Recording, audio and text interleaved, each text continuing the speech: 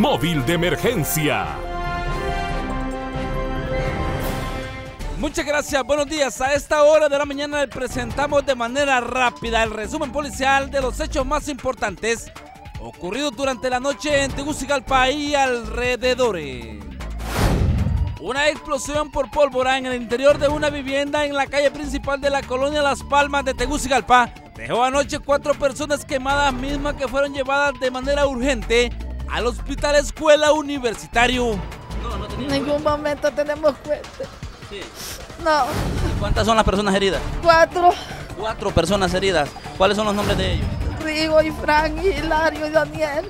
Rigo, Fran, Hilario y Daniel. Sí, todos mayores de edad uno. Ellos se encontraban en la parte de arriba, en la segunda planta. Estaban sentados viendo tele. ¿Y quién los llevó a ellos al hospital escuela? Un vecino de nosotros. ¿Y en qué condiciones iban ellos? ¿Cómo los miró usted, Mal, mal, mal. Uno padece el corazón, es mi hijo mayor. Los afectados fueron identificados como Hilario Turcio Funes de 46 años, Franklin Carrasco de 25 años, Axel Daniel Carrasco de 19 años y Rigoberto Escalante Pineda de 34 años. El informe preliminar establece que los heridos se encontraban departiendo en la segunda planta del inmueble, donde almacenaban pólvora que utilizarían para quemar el monigote de año viejo el próximo 31 de diciembre. por versiones de, un joven que se encuentra en el local, que es vecino de los propietarios de la, que alquilan la vivienda, informan que ellos tienen por lo general su tradición de los monigotes para el fin de año y lo que tenían era un- una cantidad de, de cohetes donde ellos informan que son los que explotaron. Vecinos del lugar alarmados por lo ocurrido llegaron hasta las afueras de la vivienda mientras el personal del cuerpo de bomberos realizaba su labor. Agentes de la Dirección Policial de Investigación de igual manera al enterarse de lo ocurrido se movilizaron al sector para resguardar el área. En nuestro monitoreo de la emergencia en el Hospital Escuela Universitario se conoció que los afectados presentaban quemaduras de hasta segundo grado y con un 50% de su cuerpo quemado. Esta mañana el personal hospitalario les mantenía un diagnóstico médico reservado donde tres de los afectados permanecían en condiciones más complicadas de salud, según lo indagado. Una batalla campal a machetazos entre varios hombres peleando el amor de una mujer dejó como saldo un joven con su mano mutilada y graves heridas en distintas partes de su cuerpo. Hecho ocurrido en la aldea San Isidro, municipio de Namasigüe, en el departamento de Choluteca. El herido fue identificado con el supuesto nombre de Edar Javier Flores de 37 años, quien ingresó con su cuerpo ensangrentado y con su antebrazo izquierdo amputado al recibir la fuerte descarga de los filosos machetes. Se conoció que en el Hospital Regional del Sur permanece otro hombre gravemente herido, de quien las autoridades no proporcionaron mayores detalles. Una familia que viajaba anoche a bordo de un microbús estuvo a punto de perecer luego de registrarse un aparatoso accidente de tránsito en el anillo periférico a la altura de residencial Las Uvas en Comayagüela. Los heridos fueron identificados como Suyapa Vanega de 28 años, Anthony Vanega de 9 años, Andrés Raudales y Julio Girón Acosta, todos llevados a la emergencia del Hospital Escuela Universitario. El microbús color gris con placas PDU 9941 era conducido por Darío Vanega Chirino de 61 años, quien viajaba a la colonia Torocabo y al realizar una maniobra de retorno en el periférico, fue impactado por un taxista que lo hizo volcar. La unidad del Servicio Público de Pasajeros con número de registro 1851 y placas AJ1796 era conducido por Melvin Raúl Burgos Guerrero de 35 años, originario del municipio de Cedros y residente en esta capital. Agentes de la Dirección Nacional de Tránsito minutos más tarde se presentaron a la escena para realizar el respectivo informe mientras que Vanegas Chirinos permanecía al interior de una patrulla policial para efectos de investigación. Hora más tarde las autoridades manifestaron que los heridos se encontraban fuera de peligro, mientras que los vehículos accidentados fueron apartados de la vía y retirados del lugar por los servicios de una grúa.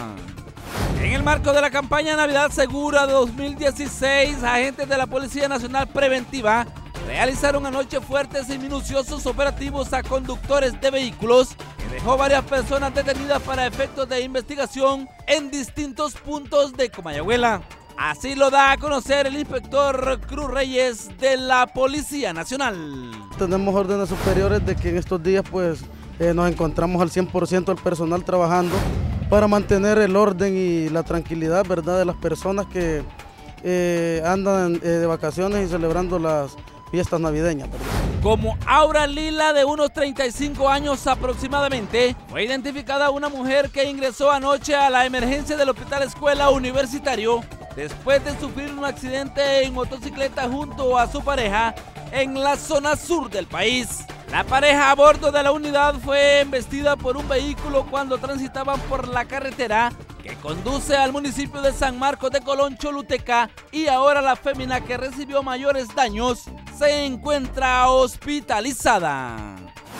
A sus 77 años de edad, ayer tarde se reportó el fallecimiento del veterano periodista Jorge Alberto Calix Andino, a quien sus familiares y amigos velaban desde anoche sus restos mortales en una reconocida funeraria de la colonia Kennedy. Se conoció que el periodista Jorge Alberto Calix murió por causas naturales en su casa de habitación de la colonia Kennedy después de sufrir una inestabilidad en su sistema de salud durante cuatro días consecutivos.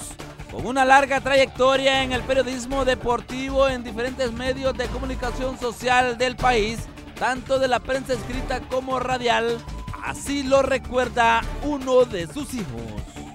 Pero mi padre fue de lo mejor, para que yo no me quejo de él. Es excepcionalmente muy aplicado en lo que nos decía, estudiáramos, que, no, no bajáramos las guardias. Él nos metió al deporte, a mí me metió al deporte, yo jugué béisbol, eh, también jugaba fútbol con las ligas menores de Motagua, pasó los papeles a Olimpia, pero no se dio, más que todo eh, seguimos estudiando. Últimamente también me apoyó para estudiar en la pedagógica, licenciatura de educación física. Me acuerdo que cuando estaba pequeño trabajó en la Contraloría General de la República, la Procuraduría General de la República, un hombre muy honrado, que lo ajeno era lo ajeno. Y yo eso me lo tengo muy presente y yo, eh, gracias a Dios que esa, eso me lo inculcó. Para los que le conocieron y le quieran acompañar en su último adiós, a las 2 de la tarde de hoy se le oficializará una misa de cuerpo presente en la Iglesia Católica de la Colonia Kennedy. Posteriormente, su cadáver será conducido al cementerio San Miguel Arcángel ubicado en la aldea Las Casitas para su sepelio a las 4 de la tarde. Que descanse en paz el colega periodista Jorge Alberto Calix Andino y resignación cristiana para sus familiares. Con las imágenes de Omar Solórzano y el apoyo de mi compañero Amabri Ojara, finalizamos nuestro recorrido a bordo de la móvil de emergencia de HSH. Buenos días. Móvil de emergencia.